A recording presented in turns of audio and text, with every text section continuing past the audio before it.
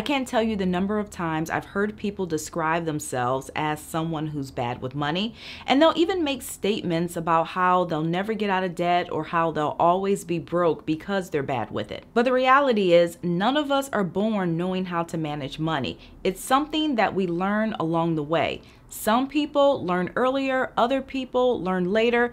Either way, money management is a skill that we have to acquire. And a lot of people who are good with money today were not good with it years ago. So things can change, but that will often require a new plan. But before jumping in, I want to take a moment to talk about how you can save money on groceries without clipping coupons. In case you haven't noticed, food prices are soaring and who knows when they're going to come down. Ibotta is a free app and browser extension that gives you cash back on purchases from stores like Walmart, Kroger, Target, and Publix. And this is whether you're shopping in store or online. But the app isn't only for food. You can also get cash back from other retailers too, like Home Depot, Old Navy, or PetSmart. Simply download the app, choose the offers you want before shopping, scan your receipt, and earn money. It's really that easy. And as a bonus, if you use my referral code at registration, Ibotta will give you $10 when you submit your first receipt.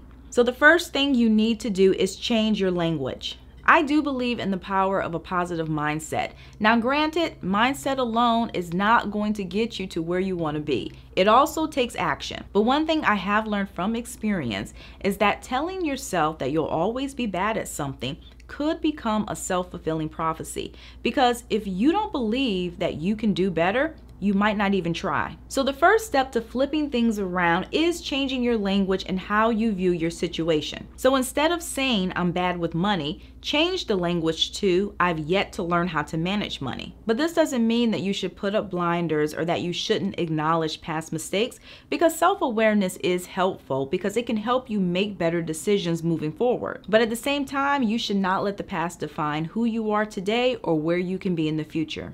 You can also change things by making one good financial decision each day. Being better with money does not always happen overnight. It can take weeks, months, or even years, and it will typically involve a series of mini steps. And when you look at each step individually, it might not seem as if you're doing a lot, but as a whole, they can set the stage for a better financial picture. And one mini step you can take is to make at least one good financial decision each day.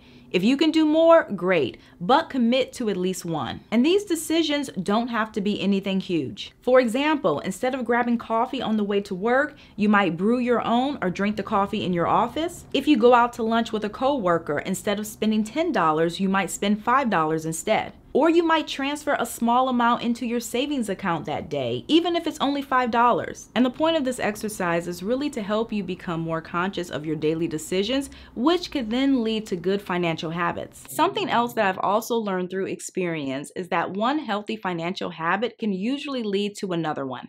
I also encourage you to keep a spending journal where you'll write down each miscellaneous dollar you spend every day. And this is crucial because when a lot of people overspend or go over budget, they're not always buying big stuff.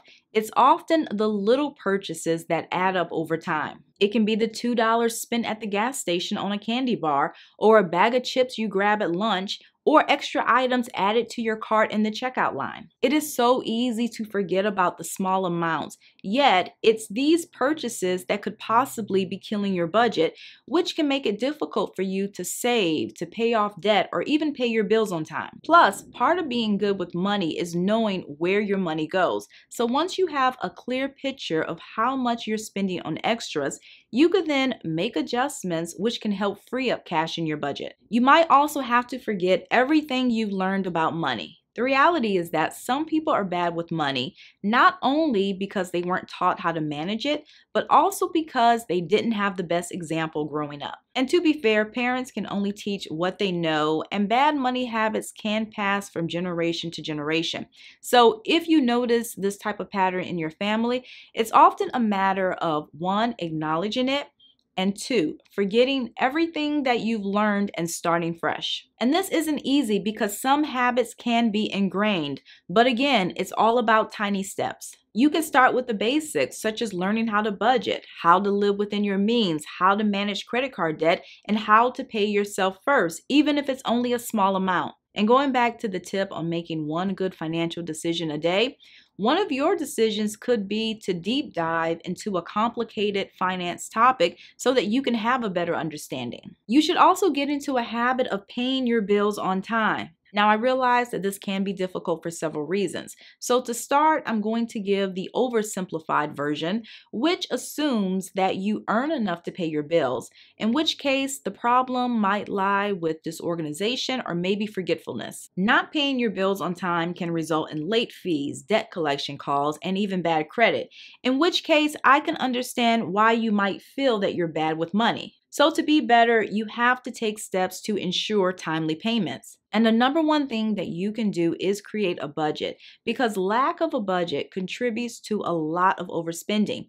Because if you're not keeping track of what's coming in and what's going out, you are more likely to spend more on wants than you can realistically afford to.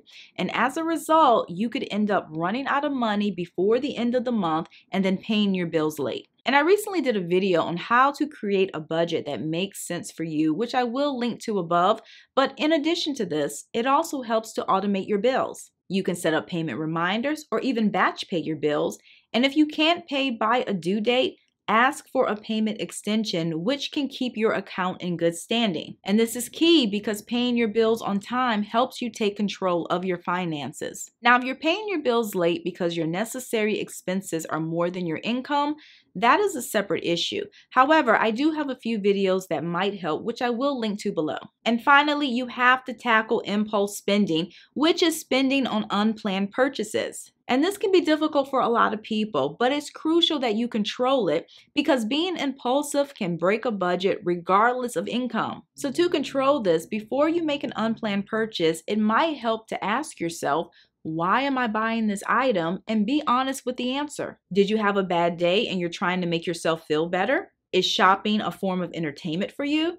Or did you forget to write out a list? And once you understand why you're making certain purchases, see if you can create a few obstacles. You can also lock or freeze your credit card, which can slow you down and give you time to think about a purchase, or commit to a 24 hour waiting period before making a purchase. This gives you time to consider whether a purchase is necessary and whether you can afford it. Also, make an effort to avoid temptation. So if there is a particular retailer and you know that this retailer is your weakness, don't browse their store for fun. So that's all that I have for you guys today. Don't forget to like, comment, and share. And also subscribe if you like personal finance and you want to see more videos like this. I typically post every weekend, so thank you again for watching and I'll see you in a few days.